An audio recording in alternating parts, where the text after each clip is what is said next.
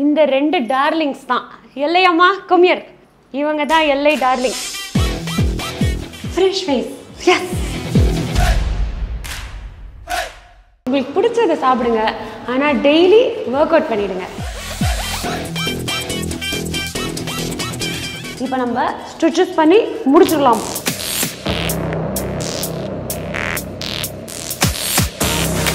நன்றி. வணக்கம். எல்லா சாமிங்களும் ஒண்ணுதாங்க. நம்ம தான் வேற வேற ஃபார்ம்ல பார்க்குறோம் அவ்வளோதான்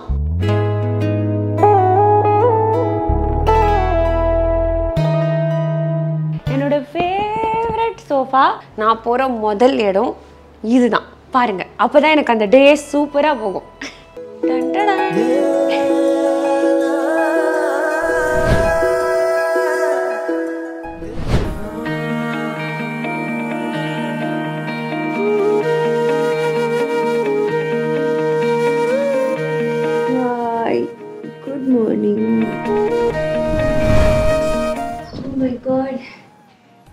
தூங்கிட்டேங்க. அதாவது இன்னைக்கு வந்து லீவ் நாள்னால அர்ஜுனும் ஆரவும் காலையிலே எழுந்து ஒரு ஸ்போர்ட் விளையாட போயிட்டாங்க. ஸோ எனக்கும் லீவ் அவங்களுக்கு லீவ்னா எனக்கும் லீவ் ஸோ ஏழரை மணிக்கு கொஞ்சம் ரிலாக்ஸ்டாக எழுந்துக்கலாம். இன்னைக்கு ஸ்கூல் இல்லை அப்படின்னு நினச்சா மணி எட்டு ஆயிடுச்சுங்க. ஏன்னு கேளுங்க. எல்லாம் அந்த பெட்டுனால தான் இவ்வளோ கம்ஃபர்டபுளாக இருந்தா எப்படிங்க எழுந்துக்க மனசு வரும்?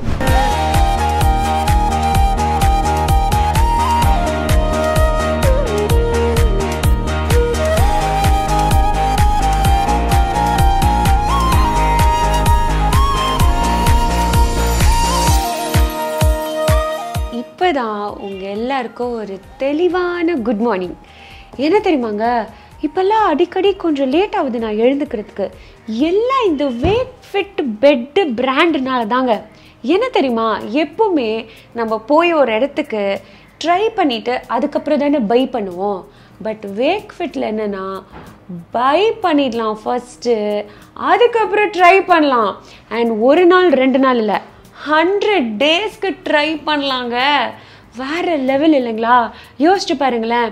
நம்ம ஒரு ஒரு கடையாக ஏறி இறங்கி ட்ரை பண்ணி வாங்குறதுக்குள்ளே போரும் போரும் ஆயிடும். ஆனால் நம்ம வீட்டுக்கே இதை தேடி வந்து நம்ம ட்ரை பண்ணலான்னா எப்படி இருக்கும்? சூப்பராக இருக்கும் இல்லைங்களா?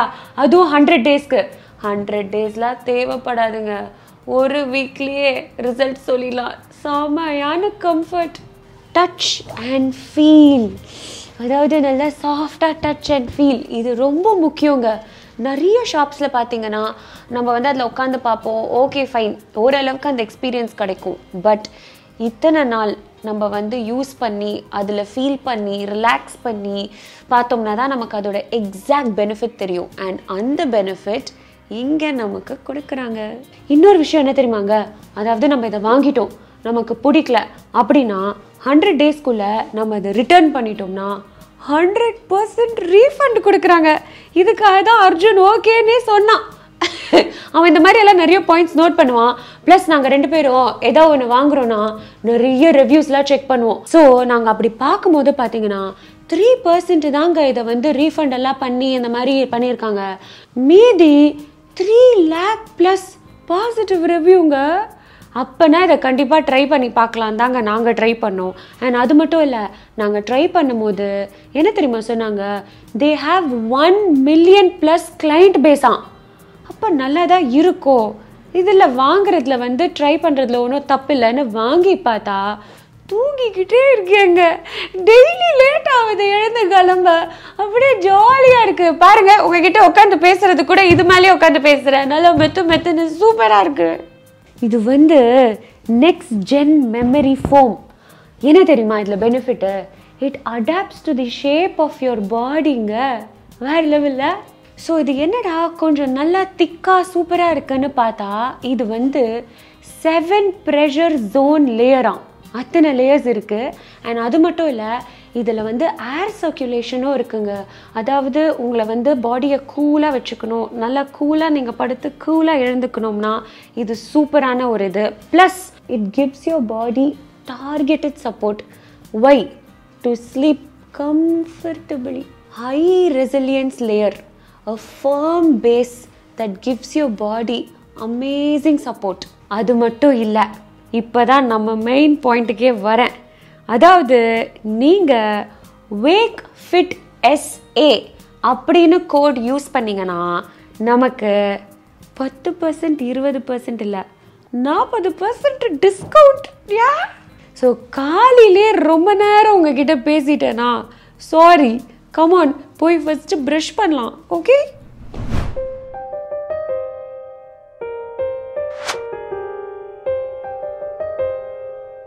ஸோ மார்னிங் எழுந்த உடனே எல்லோரும் ப்ரஷ் தான் பண்ணுவோம்.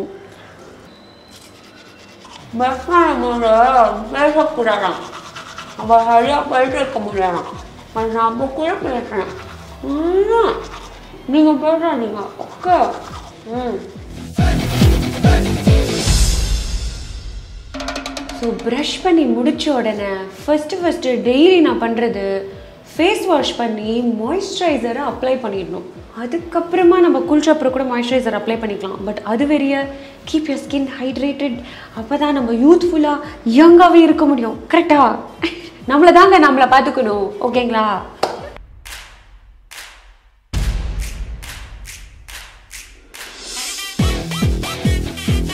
ஃப்ரெஷ் ஃபேஸ்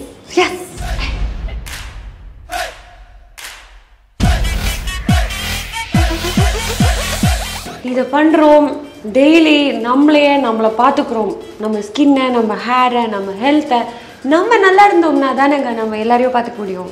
கரெக்டாக அதே சமயத்தில் அழகாக நல்லா சூப்பராக நம்ம ஜாலியாக இருக்கணும்.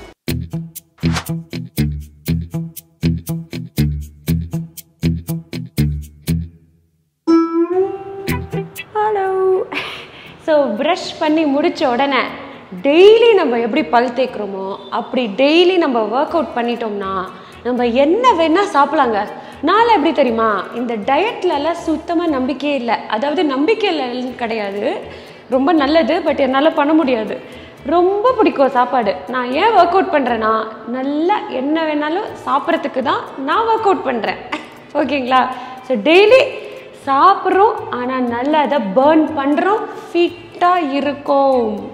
ஸோ நம்ம வந்து எங்கே வேணும்னாலும் ஒர்க் அவுட் பண்ணலாங்க. வீடுனா வீடு. உங்களுக்கு வீட்டில் ஒர்க் அவுட் பண்ண பிடிக்கலையா? வெளியே கிளாஸில் வந்து ஃப்ரெண்ட்ஸோட ஜாயின் பண்ணி ஜிம்மில் ஒர்க் அவுட் பண்ணுறீங்களா பண்ணுங்கள் அது யோகாவாக இருக்கட்டும் சரி ஜிம்மாக இருக்கட்டும் சரி ஹிட் ட்ரைனிங்காக இருக்கட்டும் சரி என்ன வேணாலும் பட் ஏதா some form of work out அது விளையாட்டு ஒரு ஸ்போர்ட்ஸ் பேட்மிண்டன் அந்த மாதிரி இருந்தால் கூட இன்னும் சூப்பர் பட் நல்லா சாப்பிடுங்க. ஒரு லைஃப் தான். உங்களுக்கு பிடிச்சதை சாப்பிடுங்க. ஆனால் டெய்லி ஒர்க் அவுட் பண்ணிவிடுங்க ஓகே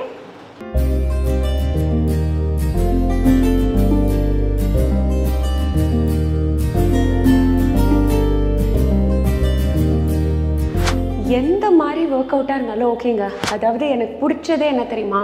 ஒரு பார்க்குக்கு ஏர்லி மார்னிங் போயிட்டு அந்த காற்றுல அந்த செடி கொடி அது எல்லாத்துக்கும் நடுவில் நம்ம ஒரு பீஸ்ஃபுல் வாக் அதுவே போகிறோம் மைண்டுக்கும் பாடிக்கும்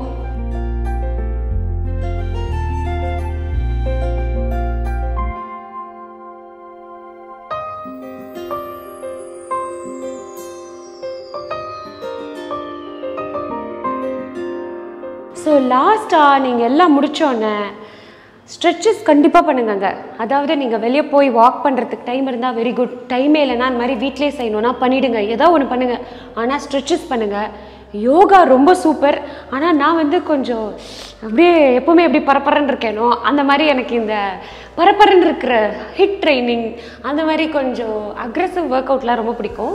ஸோ உங்களுக்கு எது பிடிச்சிருக்கோ அது தாராளமாக செய்யுங்க. இப்போ நம்ம ஸ்ட்ரெச்சஸ் பண்ணி முடிச்சிடலாம். ஓகே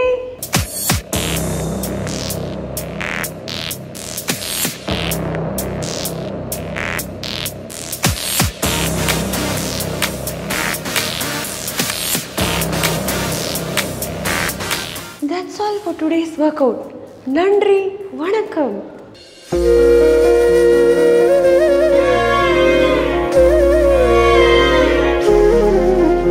ஸோ இப்போ ஃப்ரெஷ்ஷாக ஜம்முன்னு குளித்ததுக்கப்புறம் வீடை விட்டு எங்கே வெளியே போகிறோமோ வேலைக்கோ எதுக்கோ இருந்தாலும் குளித்ததுக்கப்புறம் நான் செய்கிற ஃபஸ்ட்டு வேலை நான் போகிற முதல் இடம் இதுதான். பாருங்க அப்பதான் எனக்கு அந்த டே சூப்பராக போகும். கம் வாங்க.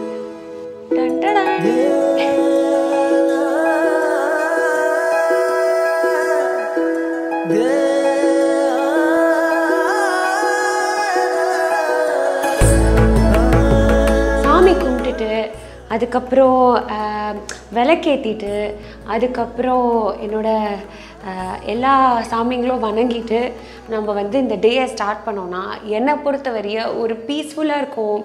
ஹாப்பி வைப்ஸாக இருக்கும். அந்த டே நல்லா போகும். பாசிட்டிவாக இருக்கும். பை சான்ஸ் அந்த டே நல்லா போகலனா கூட திருப்பியும் நைட்டு வந்து புலம்புற ஒரே ஆள் இவர்கிட்ட தான்.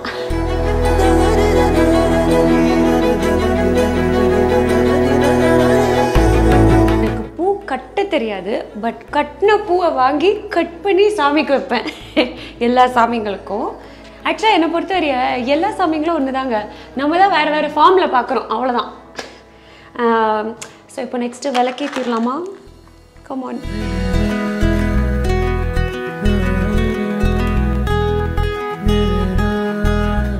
ஷூட்டிங் போனாலும் சரி ஹாப்பி ஹப்ஸ் ஆஃபீஸ் போனாலும் சரி விளக்கேற்றிட்டு டெய்லி நான் வந்து நைட்டு தூங்கும் போதும் சரி எனக்கோ என் பையனுக்கோ அர்ஜுனுக்கோ இந்த சந்தனம் நான் எப்பவுமே இட்டுப்பேன். ஏன்னா இது வந்து நான் சிவன் கோவில் நிறைய தேடி தேடி போவேங்க. ஸோ தேடி போகும்போது அவர் அப்படியே மெஸ்மரைஸ் ஆகி அவர் ரொம்ப அழகாக இருப்பாரா? சில டைம் வேண்டவே மறந்துடுவேன். அப்படியே ஆன்னு ரொம்ப நேரமாக நின்றுருப்பேன் எல்லாரும் வந்துன்னு போயின்னு இருப்பாங்க. அர்ஜுனும் வேர்த்து விருத்து வாடி போகலாம் பக்தி முத்திருச்சு. இந்த வயசுலயே இவ்வளோலாம் வச்சுன்னு நான் என்ன பண்ண போறேன்னுலாம் சொல்லுவான். அந்த டைமில் அந்த ஐயரே வந்து ஃபீல் பண்ணி சரி பாவம் அந்த புள்ளன்னு சொல்லி சிவலிங்கம் திருவண்ணாமலையிலேருந்து இந்த சந்தனம் அவரோட லிங்கம்லேருந்து அந்த பொட்டுலேருந்து எடுத்து எனக்கு கொடுத்தது. அதே மாதிரி மதுரை மீனாட்சி அம்மன் கோவில்லேருந்து கூட லிங்கத்துலேருந்து சந்தனம் எடுத்து கொடுத்தது. ஸோ அதெல்லாம் இங்கே அக்யூமுலேட் பண்ணி வச்சுருக்கேன். டெய்லி வச்சுக்கிறதுக்கு. ஓகேங்களா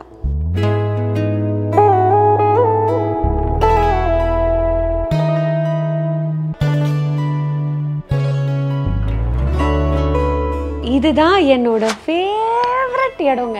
என்னோட ஃபேவரட் சோஃபா நான் வந்து லிட்ரலாக இந்த இடத்துல வந்து யாரையும் உட்கார விட மாட்டேன்.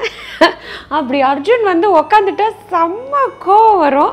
எனக்கு அவ்வளோ பிடிக்கும் இந்த இடம். ஏன்னு தெரில இனிஷியலாக ஹாப்பி அப்ஸ் ஆரம்பிக்கும் போது ஒரு ஆஃபீஸ் கூட இல்லை. ஓகேங்களா ஏன்னா ரொம்ப ரொம்ப ஸ்க்ராட்ச்லேருந்து தான் ஆரம்பித்தேன் அப்போ வந்து இந்த புக்ஸை வச்சு இந்த புக்ஸில் பாருங்கள் கிழிஞ்சு அழுது. அப்படியே இங்கே உட்காந்து தான் வேலை செய்வேன். ஃபஸ்ட்டு ஃபஸ்ட்டு காலையில் எழுந்து சாமி கும்பிட்டு இங்கே உட்காந்து தான் காஃபி குடிப்பேன். அப்புறம் மத்தியானம் ரொம்ப டயர்ட் ஆயிடுச்சுன்னா இதுலேயே தான் படுத்து ஒரு நேப் எடுப்பேன். நான் மோஸ்ட் யூஸ் பண்ணுற இடம் இந்த இடம் தான். ஸோ இப்போ காஃபி வந்து நானாக போட்டெல்லாம் குடிக்க மாட்டேன். ஏன்னா என்னை விட சூப்பராக ஒருத்தவங்க போடுவாங்க. இப்போ பல வருஷமாக எனக்கு அவங்க தான் போடுறாங்க. பாரதி பாரதிமா மை டியர் மாதா வாங்க. Yes yes super coffee ready and uh, இவங்க வந்து எப்படின்னா என்னை லிட்ரலாக ஒரு அம்மா மாதிரி பார்த்துப்பாங்க. நான் ஷூட்டிங்லேருந்து எவ்வளோ லேட்டாக வந்தாலும் இந்த காஃபி மூணு மணி நாலு மணி வந்தால் கூட எனக்கு போட்டு கொடுப்பாங்க. செம்மையாக சமைப்பாங்க.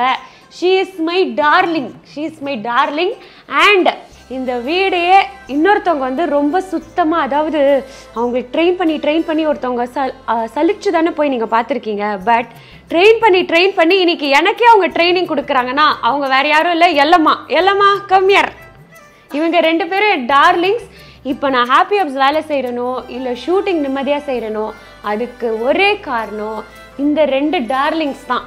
எல்லையம்மா கம்யர் இவங்க தான் எல்லை டார்லிங் ஓகே.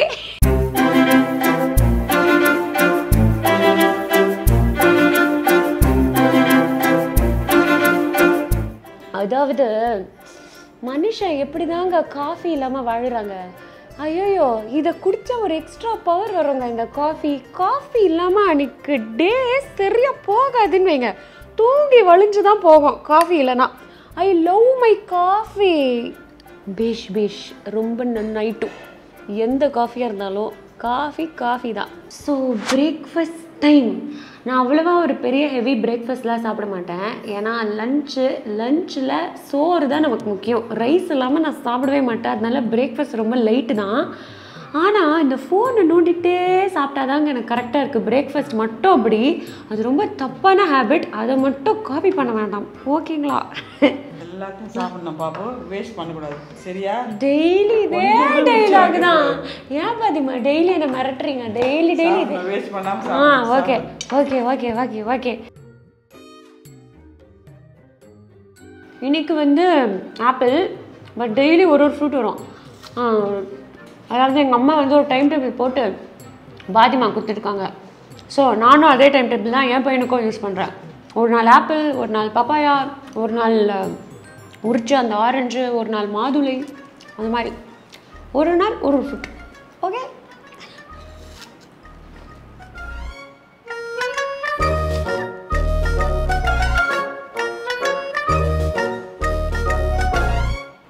இந்த ஃபுல்லாக வேற காலி பண்ணுமா?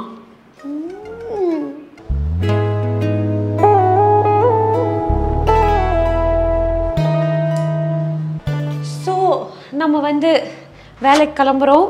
ஸோ யூஸ்வலாக நான் வந்து ஹாப்பி ஹப்ஸ் ஆஃபீஸ் போனேன்னா இந்த மாதிரி காஸ்டியூம்ஸ்லலாம் போவேன். ஒரு சிம்பிளான ஒரு குர்தா ஜீன்ஸு பட் இன்னைக்கு வந்து நான் ஷூட்டிங் போக போகிறேன் ஸோ ஷூட்டிங் காஸ்டியூம்லாம் அங்கே தான் இருக்குது so let us go so இதுதான் என்னோட ஏஎம் ரொட்டீன் பட் இது டெய்லி ஏஎம் ரொட்டீன் கிடையாது. ஆரவுக்கு ஸ்கூல் இருக்கும்போது இந்த ரொட்டீனோட சேர்த்து அப்படியே பர பர பர பர பரன்னு அவன் ஸ்கூல் பேக் பேக் பண்ணுறது டைம் டேபிளில் கேத்த மாதிரி புக்ஸை செட் பண்ணுறது யூனிஃபார்ம் எடுத்து வைக்கிறது அவனை குளிக்க விரட்டுறது இது எல்லாமே இந்த ரொட்டீனில் ஆட் ஆகிடும் ஓகேங்களா ஓகே ஸோ நான் கிளம்புற வேலைக்கு நீங்களும் கிளம்புங்க ஜாலியாக இருங்க அண்ட் இன்னும் நிறைய வ்ளாக்ஸ் இன்னும் நிறைய ரொட்டீன்ஸ் பிஎம் கிஎம் ஜிஎம்னு எல்லா ரொட்டீனும் பார்த்துடலாம். ஓகே.